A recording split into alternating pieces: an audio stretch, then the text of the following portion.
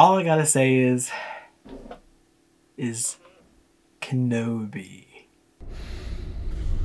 Kenobi!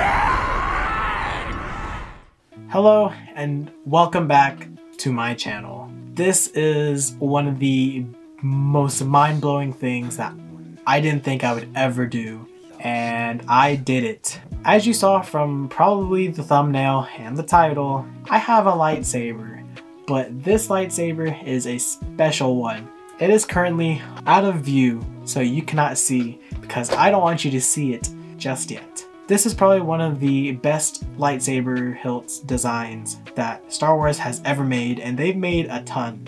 Whether that be Galen Marek's um, original lightsaber with the Kyber crystal, but I think this lightsaber may be a top contender for the best designed lightsaber, especially with who owned it. I think it's time for you to see. It's this lightsaber. This lightsaber is from KR Sabers. This lightsaber I bought as an empty hilt. There is unfortunately no electronics, so if I press these buttons on the side, nothing is gonna turn on. Um, no electronics here, no electronics here. This hilt is amazing. This looks like I could honestly beat someone with it with this part of the hilt. If you didn't already know, this is Darth Maul's um, lightsaber that he used um, after the events of Order 66 and before the events of Rebels, where he meets Ezra Bridger, this lightsaber, from what is known, um, looks to be an Inquisitor lightsaber that was broken, and Maul repurposed it um, to make this his own lightsaber. This lightsaber is a double-bladed red lightsaber. It looks incredible. Putting this lightsaber together was a pain. Um, I'm going to overlay the video right now and just talk about it real quick. Um, this took me over 30 minutes. I want to say it's more accurate to say it's around a 45 minute build, mainly because I didn't know what I was doing. I went into building it blind, so I wasn't too sure on what I was doing, but I just tried my best to put it together. Um, and yeah, this was the end result. Um, was this magnificent and beautiful lightsaber hilt. This lightsaber I only bought because there is something coming up. This video that I'm gonna post at the end of April. All I can say is that I'm gonna vlog it. I'm gonna vlog the experience and you will see why I have this lightsaber. I don't know, this lightsaber is incredible. Um, just not much to say about it. I mean, it's an empty hilt, so I can't really go over like the electronics and how it sounds because there is no sound. I mean, it's an empty hilt. For me, it's to be on display. I don't know if I'm to get this installed. The saber stand did not come with it. I actually bought that separately um, from Crimson Dawn. This is one of their like premium saber stands, which I used for my other sabers off camera. This is the coin that came with the lightsaber. Uh, on the front, I'll put an image on it so you can see it better, like right here. Um, it says KR Sabers on this side, and then on this side it says the Saber Armory, which is where I bought this lightsaber from KR Sabers. However, I do gotta say, this lightsaber is not made by KR Sabers. It was made by someone else named Denis, and I'm not gonna say his last name because I have no clue how to say it really. I could try, and I could be right, but I will most likely be wrong in saying his last name, so I don't want to mispronounce it. So let's just call him Denis. But Denis created this lightsaber uh, all from scratch, and it's incredible. Um, I don't know how he does it. I don't know what else to say about this lightsaber. I mean, except to say that it's incredible. Um, I will have some photos maybe put up like right now here, uh, showing more close up where I put a baselit core on the inside of the lightsaber to show what it would look like if it had electronics on the inside.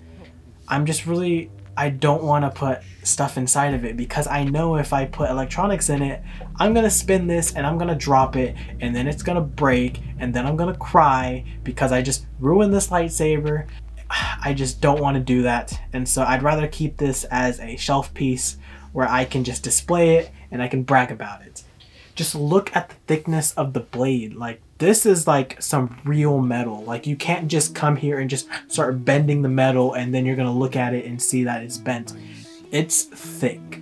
Uh, it's, I want to say very heavy, at least when it comes to these parts. I mean, the middle of the hilt isn't too heavy, um, which is nice. Um, I think the heaviest part on the blade is probably this big, huge chunk of metal here. I just felt that I should make a video on it, um, kind of showcasing it and talking about it and kind of my experience with it. Um, I will leave a link down below to this lightsaber of where I got it. Yeah, um, that's gonna be all for this video. There's not much to talk about. All I can say is that something huge is gonna come by the end of April and it involves this lightsaber and I'm gonna vlog it, which will be my first vlog.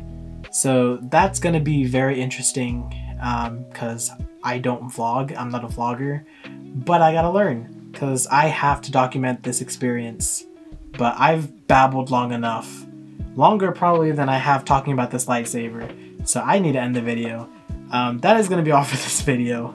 Thank you for watching the video. Um, please like the video um, if you really enjoyed me talking about this lightsaber because that's pretty much what it was.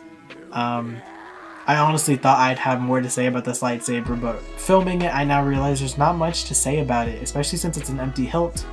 I can't, I take that back. I can say that you can get it installed and you can get a chassis and you can get electronics put inside this lightsaber. It's just a lot of money that I do not have please subscribe to the channel. Um, I want to try to hit 100 subs. My goal is to hit 100 subscribers by the end of April. Uh, I think I can honestly do it. I think I really can do it. Uh, hitting 100 subs by April would be incredible. Hit the bell notification, especially after this video because you need to stay to the end of April to watch that video because it's amazing. And comment down below what are your thoughts on this lightsaber what are your thoughts of how Darth Maul got it? Do you have any theories of how he got it besides did he kill an Inquisitor? Did he just stumble upon an Inquisitor and take their lightsaber and repurposed it? Again, that is going to be all for this video. Thank you for watching. Be sure to stay tuned by the end of this month to see the biggest thing that has probably ever happened in my life. Um, that is all. Thank you, and see you next time. Peace.